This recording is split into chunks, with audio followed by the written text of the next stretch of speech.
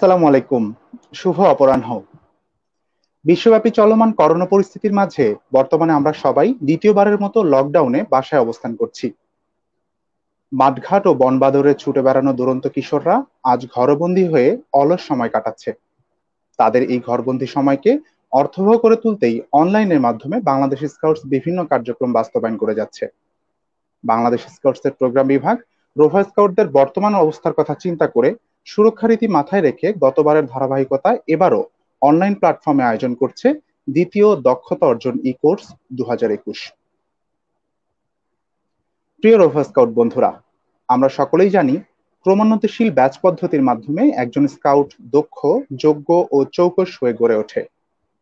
Rover স্কাউটদের প্রযুক্তি ব্যবহারের সুবিধাকে কাজে লাগিয়ে তাদের আরও বেশি দক্ষ করে গড়ে তোলার লক্ষ্যে বাংলাদেশ স্কাউটসের প্রোগ্রাম বিভাগের তত্ত্বাবধানে ও জাতীয় রোভার স্কাউট প্রোগ্রাম রিভিউ টাস্কফোর্সের পরিচালনায় আয়োজিত দ্বিতীয় দক্ষতা অর্জন ই কোর্সের আজকের পর্বে আপনাদের প্রত্যেককে স্বাগত জানাচ্ছি। আমি rover Atik Mahmud PS PRS প্রিয় রোভার স্কাউট বৃন্দ, আমরা ইতিমধ্যে জেনেছি আমাদের এই আয়োজনে সেশন পরিচালনা করে থাকেন বিষয়ভিত্তিক দক্ষ ও অভিজ্ঞ প্রশিক্ষক বৃন্দ এর ওই ধারাবাহিকতায় আজ আমাদের সাথে যুক্ত হয়েছেন একজন ফ্রন্টলাইনার করোনা যোদ্ধা।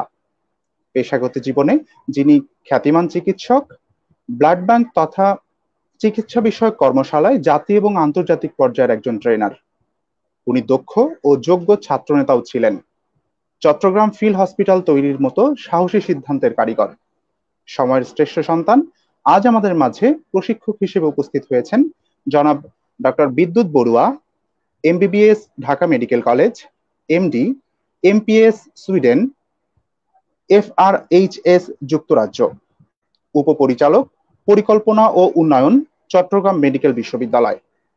প্রধান উদ্যোক্তা ও নির্বাহী, চট্টগ্রাম ফিল্ড হসপিটাল ও হোম হসপিটাল বিটি এবং সাবেক ভিপি, ঢাকা মেডিকেল কলেজ ছাত্র সংসদ। স্যার, আজ আমাদেরকে ব্লাড ব্যাংক বিষয়ে সেশন পরিচালনা করবেন। ব্লাড ব্যাংক সেশনটি সেবা স্তরের রোভা স্কাউট বন্ধুদের জন্য প্রযোজ্য। আমরা আশা করি আপনারা মনোযোগ সহকারে স্যারের সেশনটিতে অংশগ্রহণ করবেন এবং তৎপরবর্তী মূল্যায়নে সাফল্যের সাথে অংশগ্রহণ করবেন এবং সাফল্য অর্জন করতে সক্ষম হবেন। কোর্সের বিষয়ভিত্তিক প্রশ্নসমূহ আপনারা কমেন্ট বক্সে জানাতে পারেন। সেশনের শেষ ভাগে প্রশ্নোত্তর পর্ব রয়েছে, যেখানে সম্মানিত প্রশিক্ষক মহোদয় আপনাদের প্রশ্নসমূহের উত্তর প্রদান করবেন। সম্মানিত প্রশিক্ষক মহোদয়কে আমাদের এই সেশনে স্বাগত জানিয়ে আমরা এখন সরাসরি চলে যাচ্ছি তার কাছে, স্যারের সেশন উপস্থাপনায়।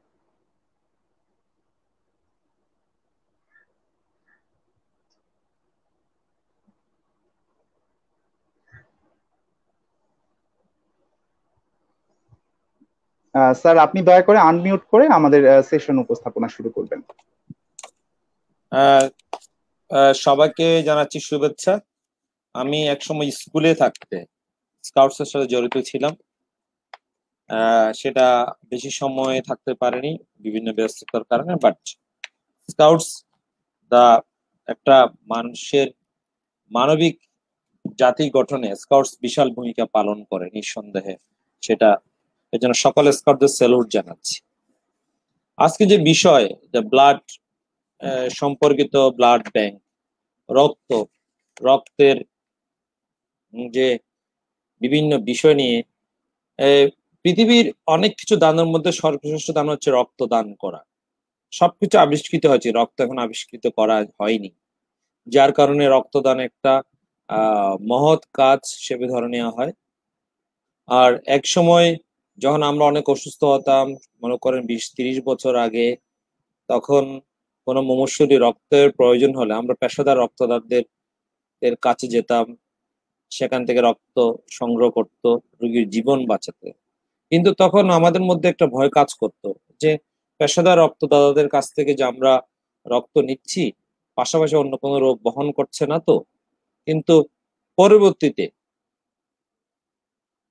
পরবর্তীতে আমরা দেখলাম যে কি, যে মানবিক রক্তদাতারা এগিয়ে এসেছে, সুস্থ, সবল, যে অনেক ভলান্টিয়ার রক্তদান করছে।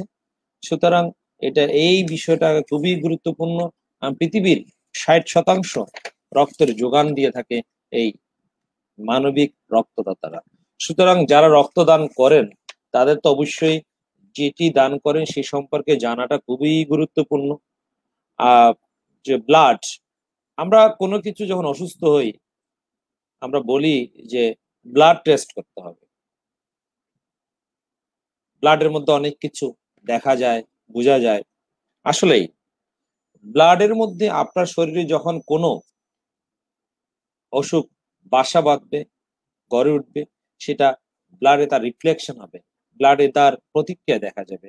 ব্লাডে যেমন electrolyte hormone vitamin antibody oxygen এবং এই অ্যান্টিজেন বর্জ্য পদার্থ কার্বন ডাইঅক্সাইড কেমন আছে ডায়াবেটিস আছে কিনা, সবকিছু কিন্তু ব্লাডে দেখা যায়। একটা পূর্ণবয়স্ক মানুষের শরীরে পাঁচ থেকে ছয় লিটার পর্যন্ত রক্ত থাকে। আপনারা সেটা যা রক্ত একটু নোনতা সাত টাইপের হয়ে থাকে। আর স্বাভাবিক যে বডি টেম্পারেচার শরীরের মানুষের সেই টেম্পারেচারে রক্তের তাপমাত্রায় থাকে। আর রক্তের মধ্যে বিভিন্ন কণিকা রয়েছে। রক্ত রস রয়েছে, যে প্লাজমা থাকতে পারে, রক্তের উপাদানের মধ্যে রক্তকণিকা রয়েছে।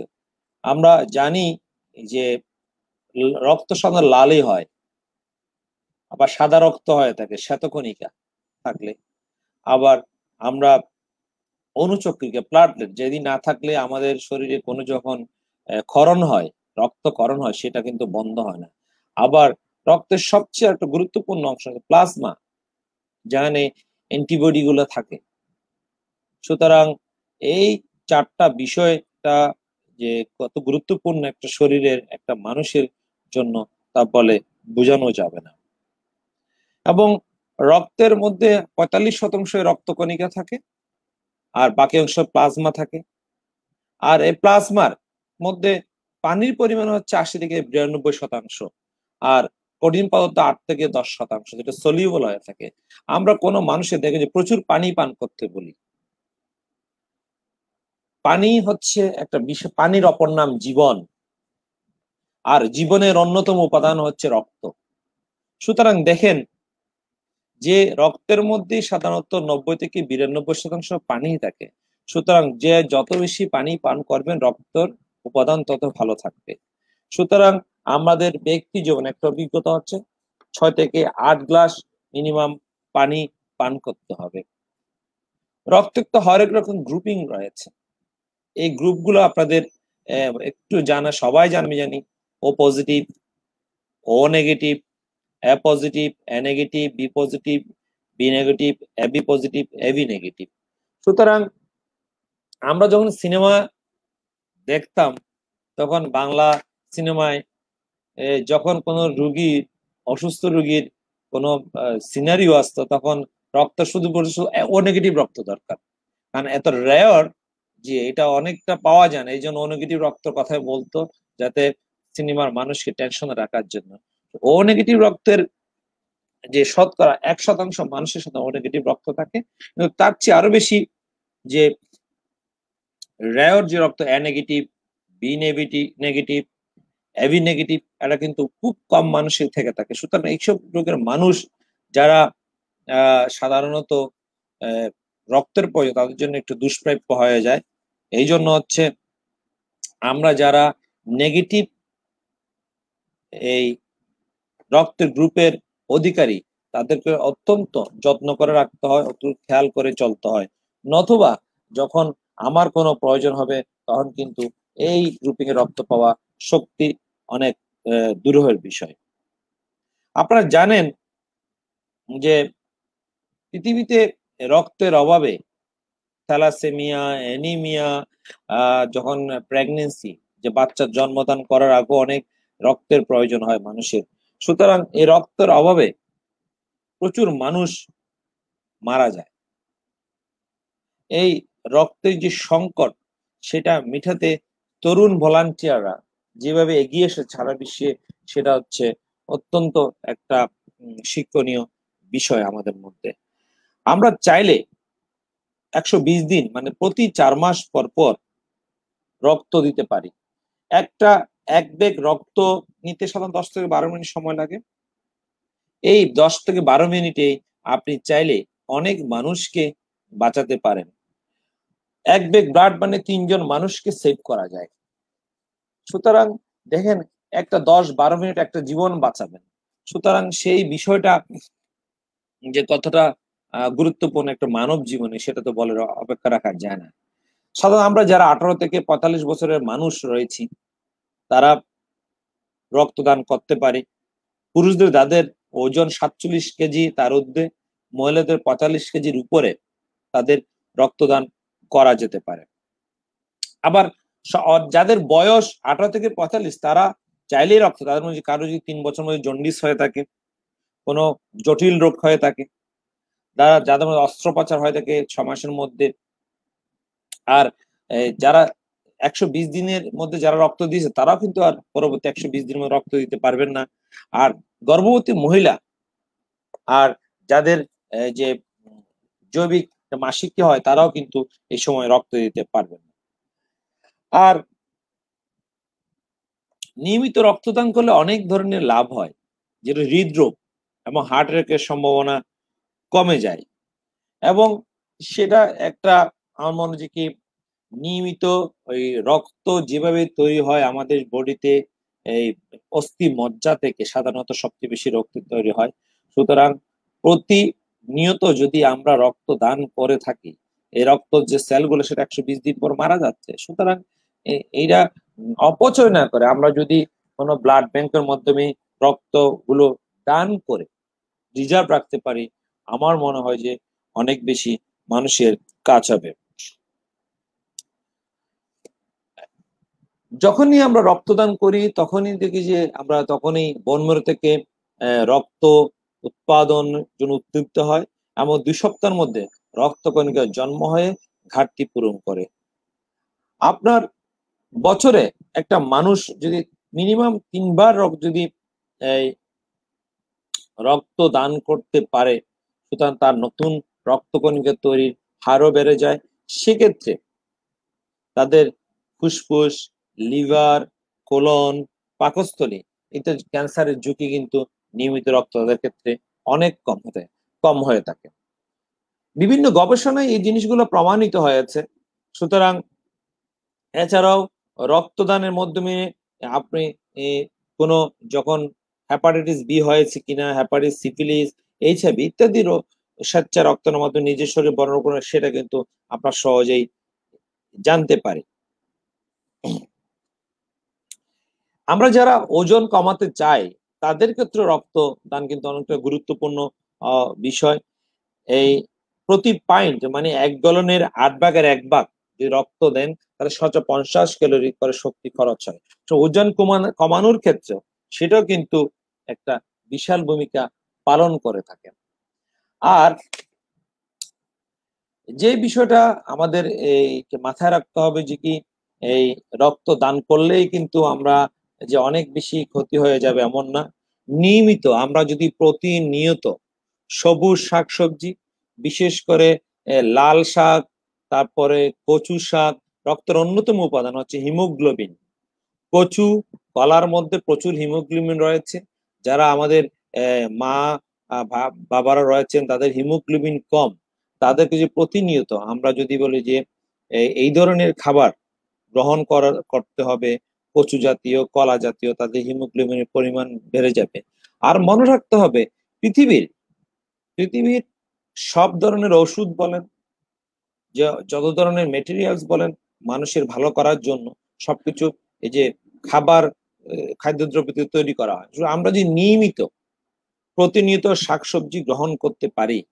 এই প্রতিদিন এখন যে পরিমাণ শাক পাওয়া যায় অলিতে গলিতে ভ্যানে করে শাক বিক্রি করে হরেক রকমের শাক, সেটা যদি আমরা গ্রহণ করি, আমার মনে হয় যে কি এই রক্তের উৎপাদনের ক্ষমতাও যেমন বাড়বে, তেমনি আমাদের নিজেদের স্বাস্থ্য ভালো থাকবে এবং নিয়মিত আমরা যে টয়লেট করি, পায়খানা করি, সেটাও নিয়মিত হবে। সুতরাং এই ফাইবার জাতীয় ফুড যত খাবেন রক্তের মধ্যে, রক্তের উপাদানগুলো, প্লাজমা বলেন, হিমোগ্লোবিন বলেন, অন্যান্য অ্যান্টিজেন অ্যান্টিবডি গুলো অনেক বেড়ে যাবে। সুতরাং এই যারা স্কাউটস রয়েছে, তারা যেমন নিজেরা তো জানেনি, নিজে জানলে হবে না। জ্ঞানকে বিতরণ করতে হবে। আপনার জানাকে মানুষের মাঝে সঞ্চারিত করতে হবে। আপনি নিজে রক্ত দিচ্ছেন, পাশাপাশি একজন মানুষকে উদ্দীপ্ত করতে হবে। এই বিষয়টাকে আপনারা যদি ঠিক মতো উদ্দীপ্ত করতে পারেন আমার মনে হয় যে পৃথিবীতে রক্তদাতার সংখ্যা বেড়ে যাবে, কোনো মানুষ এই রক্তের অভাবে মৃত্যু হবে না। সুতরাং আমরা প্রতিনিয়ত রক্ত দিন জীবন বাঁচান একটা স্লোগান রয়েছে। সুতরাং আমাদের রক্ত দানের মাধ্যমে আমরা অনেক মানুষের জীবন বাঁচাতে পারি। জীবন বাঁচানোর মতো এর চেয়ে বড় সোয়াব বা শ্রেষ্ঠ কাজ আর কিছুই হতে পারে না। সবাইকে ধন্যবাদ। আপনাদের কোনো কোয়েশ্চেন থাকলে বলতে পারেন।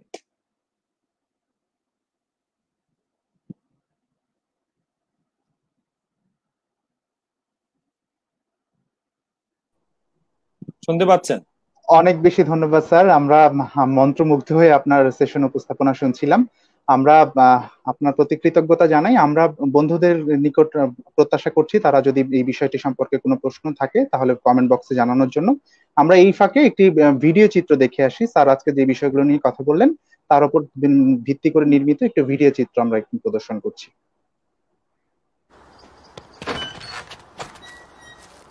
ฮัล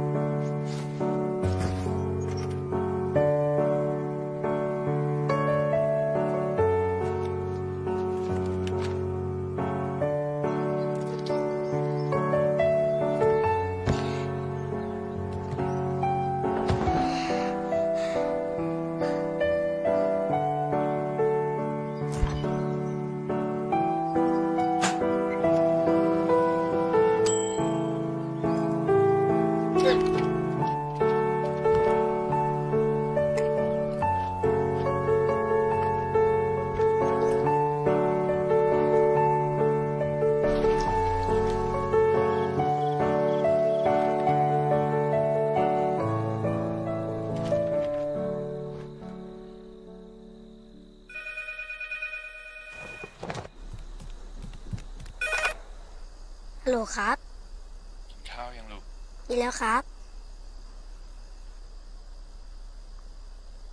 พ่อครับหืมกว่าผมจะหนัก 45 กิโลแม่จะรอผมไหวไหมครับ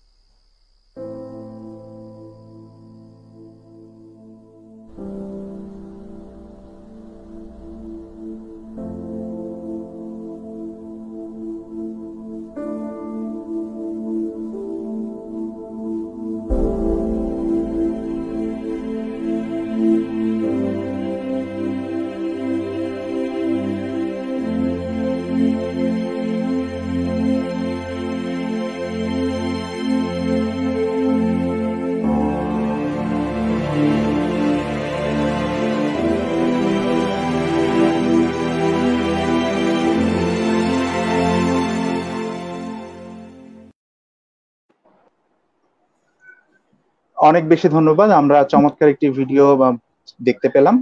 আমরা অনেকগুলো প্রশ্ন পেয়ে গেছি ইতিমধ্যে। আমরা স্যারের কাছে আমরা সরাসরি প্রশ্ন উত্তর পর্বে চলে যাচ্ছি। আমরা জানি স্যার অনেক ব্যস্ত আমাদের খুব টাইট শিডিউলের মধ্যে থেকে আমাদের জন্য কিছু সময় বরাদ্দ করেছেন। আমরা কথা না বাড়িয়ে সরাসরি কমেন্ট সেকশনে চলে যাচ্ছি স্কাউট বন্ধুদের প্রশ্নগুলো নিয়ে। ফৌজি আমিন প্রণম জানতে চেয়েছে। স্যার রক্তে অ্যালার্জি আছে এমন লোক যদি রক্তদান দান করেন তাহলে কি রোগীর কোনো সমস্যা হবে কিনা? রক্ত অ্যালার্জি বলতে কি বুঝাতে চেয়েছে এটা যদি একটু বুঝতে পারতাম। আপনি আপনি যদি রক্ত গ্রহণ করার পরে কোনো যদি অ্যালার্জি রিয়েকশন হয় কিনা সেটা বিষয়। নাকি স্যার উনি জানতে চাচ্ছেন যিনি যিনি রক্ত গ্রহণ করবেন অর্থাৎ গ্রহিতা যিনি উনি রক্ত দাতার অ্যালার্জি যদি থাকে গ্রহিতা যদি সেটা গ্রহণ করেন সেক্ষেত্রে কোনো সমস্যা হবে কিনা? মানে যিনি রক্ত দিচ্ছেন তার যদি অ্যালার্জি থাকে। অ্যালার্জি কি কন্টিনিউয়াস অ্যালার্জি? অনেক মানুষের অ্যালার্জি যেমন অ্যালার্জি বলতে যেমন আপনি শীতকালে যখন আপনি নাক দিয়ে পানি পড়ে সেটা একটা অ্যালার্জিক রিয়েকশন কিন্তু। আপনার গরমকালে যখন অনেক চুলকায় লাল হয়ে যে সেটা একটা অ্যালার্জিক রিয়েকশন অ্যালার্জি তো কন্টিনিউয়াস জিনিস না, এটা হচ্ছে পরিবেশ অনেক কিছু নির্ভর করে। আর সেক্ষেত্রে যে আপনার আয়, যে ইমিউনোগ্লোবিন যদি রক্তের মধ্যে অ্যালার্জিক ইমিউনোগ্লোবিন থেকে থাকে, সেক্ষেত্রে সে মানুষের রক্ত গ্রহণ করা ঠিক হবে না। অনেক ধন্যবাদ স্যার, আমরা পরবর্তী প্রশ্নে চলে যাচ্ছি। স্যার, চার মাসের জায়গায় তিন মাস পর পর রক্ত দিলে রক্তদাতার কি খুব সমস্যা হবে কিনা? আবুল হাসান মাসুম এই প্রশ্নটি করেছেন আমাদেরকে। হ্যাঁ অবশ্যই অবশ্যই। আপনার এই রক্তের উপাদানগুলো পরিপূর্ণ মেচুরিটি না হওয়া পর্যন্ত আপনি রক্তদান করতে পারবেন না। সেটা যেটার ক্ষেত্রে পেশাদার যারা রক্ত দান করে থাকে, তারা তো এক মাস পর চুরি করে রক্ত দান করে। তাদের স্বাস্থ্য দেখবেন যে কেমন হালকা, পাতলা অনেক কিছু সে রক্ত কাজ করে কিনা আমি জানি না। সুতরাং রক্তের একটা মেচুরিটি টাইম রয়েছে। সেই রক্ত ডেভেলপ হওয়ার পরে আপনি রক্তদান করতে পারবেন। তাড়াহুড়ো কোনো কিছু নেই একশো বিশ দিন পরে রক্ত দিতে পারেন। অনেক ধন্যবাদ। স্যার শিরিন আফরোজ অনু জানতে চেয়েছেন মহিলারাও চার মাস পর পর রক্তদান করতে পারবেন কিনা? হ্যাঁ মহিলারা পারবেন যারা প্রেগনেন্ট তারা পারবে না আর যাদের যে যেটা হচ্ছে জৈবিক যেটা মাসিক হয় ঋতুস্রাব হয় সেই সময় তারা রক্ত দিতে পারবেন। ধন্যবাদ। আবুল হাসান মাসুম জানতে চেয়েছেন যে রক্তদান করার সঙ্গে সঙ্গে কোন খাবারগুলো খাওয়া জরুরি? আপনার রক্ত যখন দিচ্ছেন, আপনি শরীর থেকে চারশো থেকে চারশো মিলিলিটার মতো ব্লাড চলে যাচ্ছে আপনার। সেটার সাথে সাথে আপনি লিকুইড পানি খেতে হবে। আমরা যখন সন্ধানী করতাম রক্ত দেওয়ার পর তাকে একটা পাঁচশো এম বা একটা কলা দিতাম বা পানি খাওয়াতাম, কিছুক্ষণ বসতে হবে রিপ্লেসমেন্টের জন্য। আপনি এরপরে প্রচুর পরিমাণ পানি খেতে হবে। আগেই বলেছি রক্তের মধ্যে আশি থেকে নব্বই শতাংশ পানি রয়েছে। আমি কথার সঙ্গে বলছি। প্রচুর লিকুইড পানি লিকুইড খেতে হবে।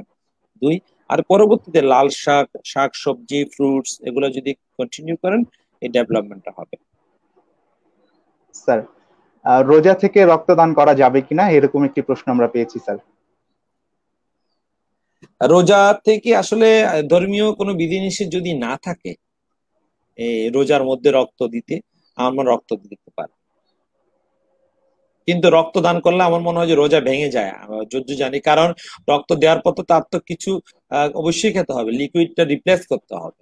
সুতরাং আমার রোজার কালীন রক্ত না দেওয়া ভালো।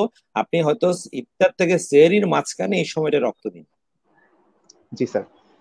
অনেক ধন্যবাদ। আমাদের অনেকেই লিখেছেন।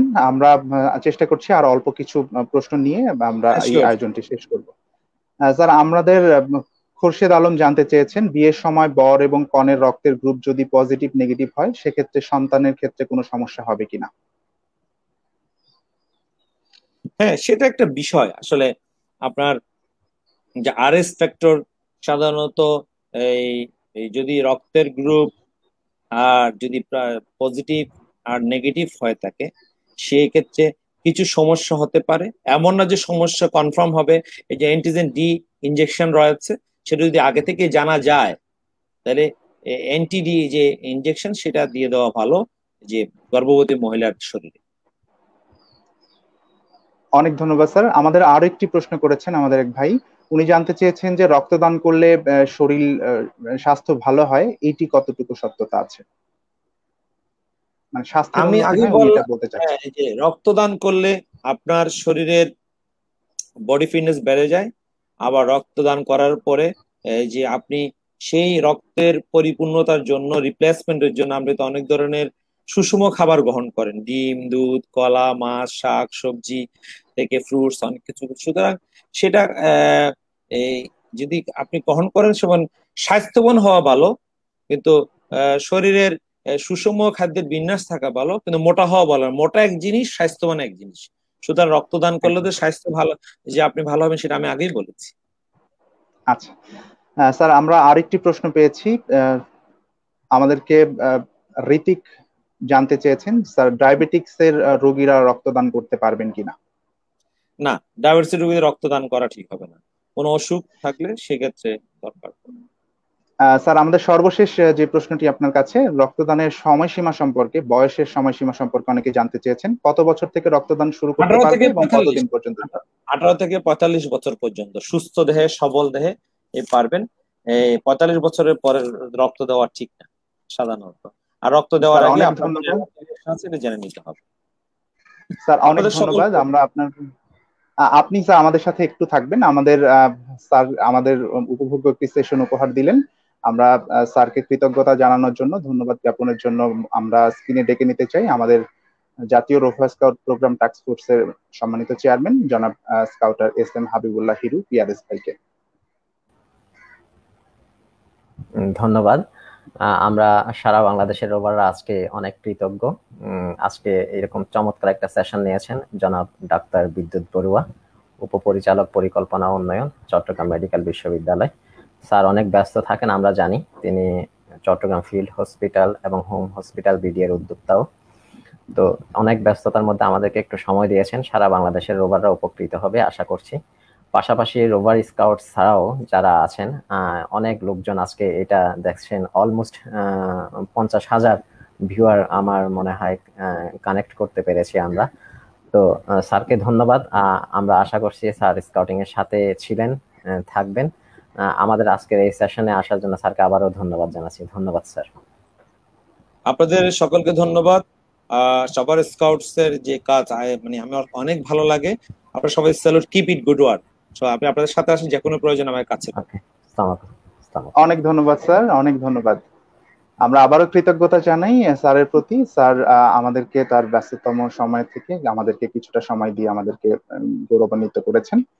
আমরা আমাদের আয়োজনের পরবর্তী অংশে চলে যাচ্ছি এবং স্যারের থেকে অফিসিয়ালি বিদায় নিচ্ছি। স্যার, অনেক ধন্যবাদ। ভালো থাকবেন, স্যার। সালাম আলাইকুম।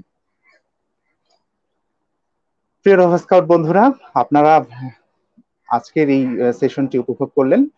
সময় স্বল্পতার কারণে আমরা যেটি পূর্বেই বলেছি যে আপনাদের এই অনেকেই যে লিখছেন কমেন্ট বক্সে আমরা সবার উত্তর হয়তো বা দিতে পারিনি। পরবর্তী আয়োজনে কখনো আপনাদের সেই উত্তরগুলো দেওয়ার চেষ্টা করব এবং কমেন্টের রিপ্লের মাধ্যমে আমরা চেষ্টা করব আপনাদের উত্তরগুলো দেওয়া যায় কিনা। মূল্যায়ন প্রক্রিয়া সম্পর্কে আমরা কিছু তথ্য জানিয়ে দিতে চাই। আমাদের আজকে আপনারা এই সেশনটি সম্পর্কে যা শিখলেন, সেটির উপর ভিত্তি করেই আপনাদের একটা মূল্যায়ন প্রক্রিয়া অংশগ্রহণ করতে হবে, এটি আপনারা ইতিমধ্যে জানেন। এবং আপনাদের সুবিধার্থে আজকে আমাদের যে লাইভ সেশনটি যাচ্ছে, সেই লাইভ সেশনটির তে আমরা এই লিঙ্কটি সংযুক্ত করে দিব। এবং আপনারা এটাও জানেন, ইতিমধ্যে আপনারা জেনে গেছেন অথবা মূল্যায়ন প্রক্রিয়ার সাথে আপনারা ইউজ টু হয়ে গেছেন। যে সিক্সটি পার্সেন্ট অথবা এর অধিক নাম্বার অর্জনকারী আমরা মেইলের মাধ্যমে সার্টিফিকেট প্রেরণ করব এবং মূল্যায়ন লিঙ্কটি আজ বেলা সাড়ে তিনটা থেকে উন্মুক্ত করা হবে। এটি তিন দিন পর্যন্ত চলমান থাকবে। এই সেশনটি লাইভ সেশনটি বাংলাদেশ স্কোর্সের অফিসিয়াল ফেসবুক পেজে সংরক্ষিত থাকবে। যে সকল বন্ধুরা নানা জটিলতায় এই মুহূর্তে এই সেশনটি উপভোগ করতে পারলেন না, তারা তাদের সুবিধাজনক সময়ে ভিডিওটি দেখার সুযোগ পাবেন এবং পরবর্তীতে মূল্যায়ন করার অংশগ্রহণ করার সুযোগ পাবেন।